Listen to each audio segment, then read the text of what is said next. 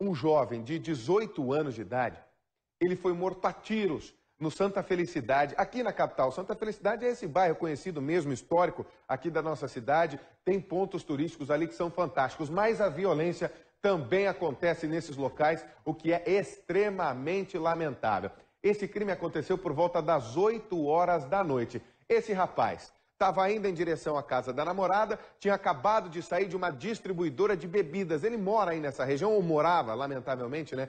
Há pouco tempo. Quando simplesmente, depois de sair dessa distribuidora, alguém encostou do lado dele, estava na garupa de uma moto, esse homicida, esse assassino, segundo disseram as testemunhas, e já chegou atirando. Foram pelo menos 10 tiros.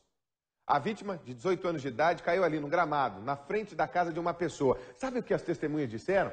Pareciam rojões que estavam sendo soltos por ali na região, tiros de rojão. Tamanha quantidade de disparos que foi realizada aí neste local. Pessoas imaginaram mesmo que era uma bateria de fogos de artifício. Só tem uma informação sobre quem cometeu esse homicídio. Ocupava a garupa de uma moto. Ponto. A Delegacia de Homicídios e Proteção à Pessoa trabalha com duas possibilidades para esse caso: acerto de contas ou vingança. Pode ser que essa vingança tenha a ver com o caso passional. No ano passado, essa vítima foi presa por porte ilegal de arma, disparo de arma de fogo e lesão corporal. O jovem morava no bairro há poucos dias. Agora é assim, né? São famílias muito antigas que moram aí nessa região do Santa Felicidade. Gente que não está acostumada de forma nenhuma a ver esse tipo de situação, mas lamentavelmente ela também acontece.